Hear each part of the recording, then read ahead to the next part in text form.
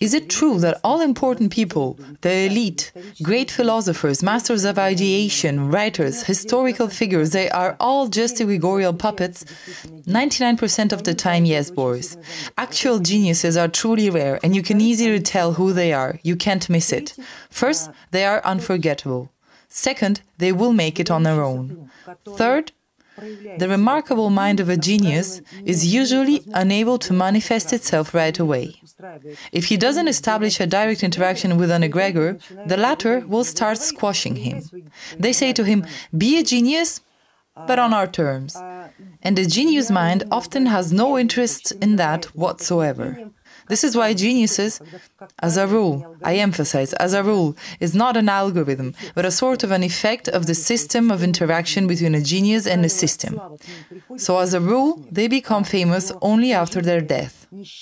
And while they are alive, they are sick as dogs, suffering from all illnesses known and unknown to mankind. Let's take Bulgakov, for example. As his biography is known, it is traceable. He was favored by the authorities, he was killed by the authority, he was tremendously ill, and his most important and most famous creation became such only after his death, because it was precisely that creation that was most dangerous for the system that existed at the time. And if you put side by side the chronology of the publication of Master and Margarita and the development of the Soviet system, you will see that the highest rise of the work was precisely during the peak of that system's decline, if it can be called this way, the peak of decline, meaning it coincided with the lowest point of the egregorial ideology. So what they were afraid of, that is what they anyway got. And this is a very common story with geniuses.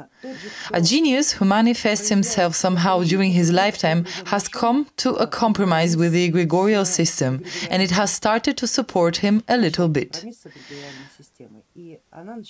Maybe not across the board, but just in some ways enough to allow him to manifest himself during his lifetime. And then it is up to the system whether to make him a master of ideation or a pariah. Systems change. Systems change. Same with Sakharov, for example, or Solzhenitsyn. One system was killing him without a reasonable cause, the other one raised him up to heavens. And if you look at him without any bias, the torture was undeserved and the admiration was completely undeserved. But that is how the system uses them. In any case, when a master of ideation appears, he is 99% of the time an egregorial puppet. Look at his biography, look at who stood behind him, when and on what grounds did they admire him and what did they kill him for. This is always the work of a system.